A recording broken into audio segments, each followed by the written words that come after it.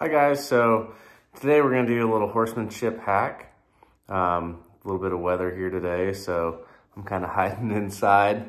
Um, I'm gonna start putting videos up like this probably every day, just little thoughts that I have um, about horsemanship and kind of what I'm seeing in my program, and maybe that will help you guys um, maybe in your own deal. So today I kind of want to talk about um, you know, if you're told by somebody, whether it be your friend or a clinician or um, a trainer or a video that you see um, to do such and such training aid or aid or whatever it is with your horse.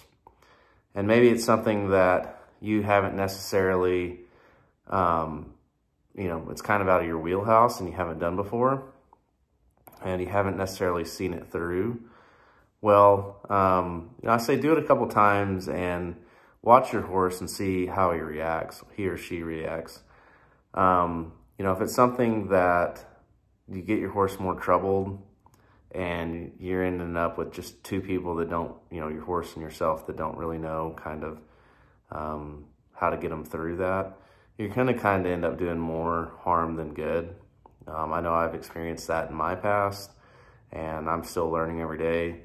Um, you know, so try it. You need to experiment. You need to try new things and your horses need to see new things. But uh, he'll tell you if you're doing too much or maybe he doesn't understand. And then you need to kind of go back to what, you know, um, works and what's within your wheelhouse.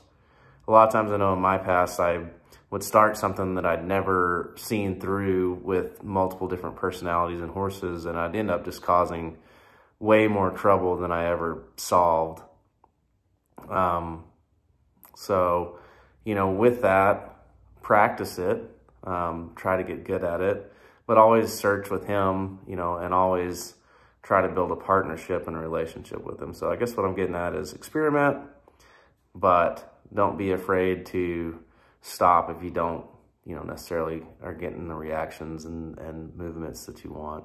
So as always, uh, make a partnership with your horse and pursue your passion. Have a good day.